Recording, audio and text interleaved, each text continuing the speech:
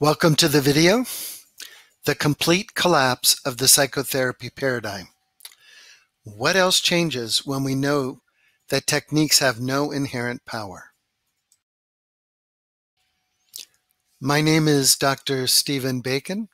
I'm a clinical psychologist in Santa Barbara, California, and I've spent the past decade writing books and researching exactly how psychotherapy works. The privileged knowledge problem. Privileged knowledge refers to the idea that each profession is characterized by its unique privileged knowledge, the knowledge that is owned by the profession, the knowledge that must be mastered to succeed at the profession. Privileged knowledge includes psychotherapy techniques, but also consists of everything related to mental health, concepts like diagnosis, prognosis, etiology, and pathology.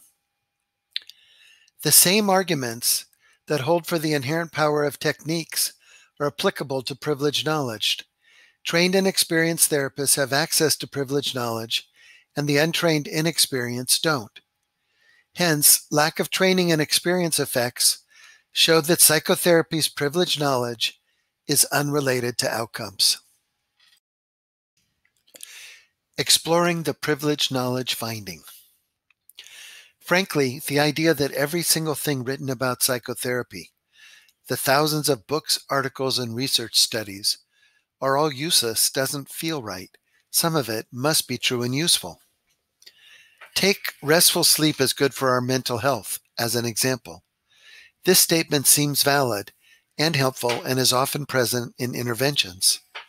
The problem here is that the sleep statement isn't really part of our privileged knowledge. It's actually common knowledge in that everyone, including beginning psychotherapists, already knows it. This common knowledge, privileged knowledge confusion is true of lots of ideas that we use in psychotherapy, such as socialization is good, exercise is helpful for most people, and many people feel better if they get a dog or learn to stand up for themselves.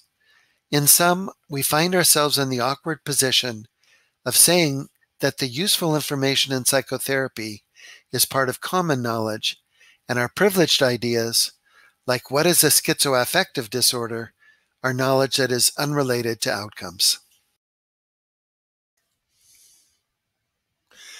To best understand techniques without inherent power and the irrelevance of psychotherapy's privileged knowledge, it can be useful to explore a metaphor about exorcism.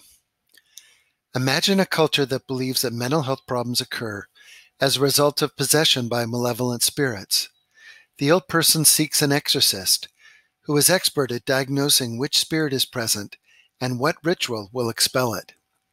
The individual undergoes the exorcism, they feel the spirit depart, and their condition improves. Further imagine that there are a few exorcists who know that the spirits are constructs, that they don't actually exist.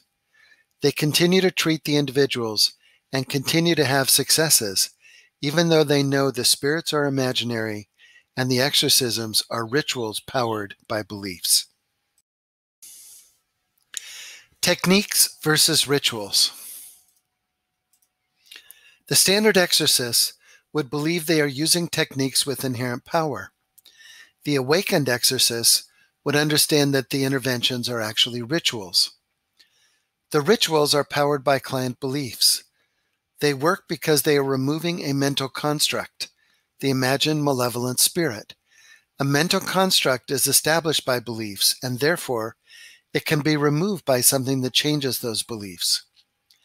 If the spirit was real, it couldn't be banished by reliefs and rituals. Expelling it would require an exorcism that had inherent power. For example, if a client has a personality change due to a brain tumor, they would require a technique with inherent power surgery. If they have a depression due to poor self esteem, they can be cured by a psychotherapeutic ritual. Privileged knowledge as a construct. The privileged knowledge of the exorcists is the knowledge that allows them to discern what kind of spirit has possession and what specific practice will expel that kind of spirit. Since the spirits don't exist, all of the privileged knowledge is simply an invention that explains why the client feels poorly. Since all around us believe in the same explanations, they feel real, not fabricated. Given that in truth these explanations are fabricated, it's easy to understand why they would be unrelated to improving outcomes. As an example of the fluidity of such explanations, a beginning exorcist could make up their own spirit description and their own exorcism. As long as they were convincing, it would work as well as the real exorcisms. In psychotherapy, these kinds of inventors are called system developers. Famous developers include Freud, Jung, and Carl Rogers.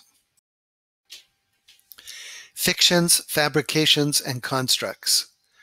One of the most famous living psychotherapists, Irvin Yalom, has this to say about the constructed nature of psychotherapy's privileged knowledge. The superego, the id, the ego, the archetypes, the idealized and the actual selves, the pride system, the self system and the dissociated system, the masculine protest, parent, child, and adult ego states. None of these really exist. They are all fictions, all psychological constructs created for semantic convenience, and they justify their existence only by virtue of their explanatory power. Once it is invented and we read about it in books, we act as if it's real. Yalom, who is apparently immune to this kind of social endorsement, understood the constructed nature of privileged knowledge even before the research results became clear. The privileged knowledge perspective of another culture. It's always easiest to understand what is constructed in any given culture when one looks at it from the outside, from the perspective of a different culture. Examine this quote about the validity of Western psychology from the viewpoint of the Maori people. Psychology has created the massed abnormalization of Maori people by virtue of the fact that Maori people have been recipients of English defined labels and treatments. Clinical psychology is a form of social control and offers no more truth about the realities of Maori people's lives than a regular reading of the horoscope page in the local newspaper. Obviously, Lawson Tay is describing a form of cultural imperialism. He also joins Yalom in seeing psychotherapy's privileged knowledge as constructed and is not based in reality. The Awakened Exorcist and Interventions as Rituals. We can also understand the differences between rituals and techniques by imagining exorcisms from the perspective of the awakened exorcist. The standard exorcist begins by figuring out which spirit is in possession and which technique is designed to move remove that spirit. The awakened exorcist begins with the client and tries to understand what the client believes about their own suffering, their spirit, and what would cure them. The standard therapist applies the selected technique carefully and completely and is afraid to vary from the defined approach, fearing that the technique might lose its power.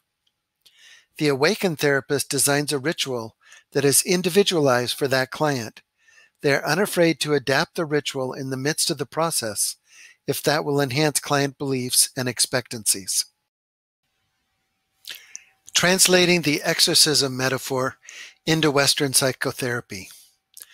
The awakened therapist understands that human suffering is real, but viewing and discussing that suffering in terms of diagnostic categories, such as schizotypal, cyclothymic disorder, and borderline personality, fails to enhance outcomes. The awakened psychotherapist might continue to use diagnostic categories if that helped the client in some way, but feels free to modify any diagnosis if that is more useful. This would especially be true for certain diagnoses that are associated with stigma and negative prognoses. Given that most clients frame everything in terms of Western psychology, the awakened therapist will default to the frames and interventions that are most comfortable for the client but they will be free to adapt the explanations and interventions in any way that helps the client, knowing that conforming to standard definitions fails to enhance outcomes. While all therapists attempt to engender hope and positive belief in their clients, Technique centric therapists pay much less attention to this factor than client centric therapists. Diagnoses become adaptable, as do interventions. Imagine a client who presents with the news that they have been diagnosed by a previous therapist as a borderline. They have researched the diagnosis and discovered that it implies that they will have great difficulty with relationships and may never get better. A standard therapist might reassure the client that they will work with them for the many years that it will take to treat their condition. The constructionist therapist can respond with something like, I agree that you are a borderline, but fortunately, you are a special type of borderline. In your type, only a part of your psyche, one particular ego state, meets borderline criteria. Interestingly, you have lots of other high functioning parts as well. You'll be pleased to know that this special category of borderline has a much better prognosis, particularly because you can access the, res- the strengths inherent in the other parts. The redefinition of the diagnosis not only enhances the client's mood, it engenders a level of hope and optimism. Moreover, the constructionist therapist unfettered by the limiting assumptions of the diagnosis, can entertain a better prognosis and is relatively free to develop interventions that are individualized for the client. The research analyses have truly horrible implications for psychotherapy as we know it. We would need to admit that licensed trained therapists get no better results than lightly trained coaches, at least with most, most conditions. We would need to give up claiming expertise because of special experience with a population or diagnosis. For example, I'm an expert at chemical dependency or adolescence.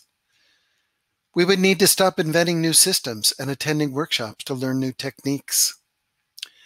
We would need to admit that the vast majority of books and articles written about mental health have failed to enhance outcomes and therefore can be ignored. Most of all, we would have to figure out why psychotherapy isn't like medicine and develop a new direction that would actually score above 55%. The next step is to figure out why psychotherapy is so different than medicine. We all know that most professional fields, like chemistry or biology, find it easy to develop techniques with inherent power and training programs that make a difference in outcomes. Why can't we? What is the role of social constructionism? The next video explores how psychotherapy is different than those other professions and why it has been so challenging to pursue our evolution via traditional methods.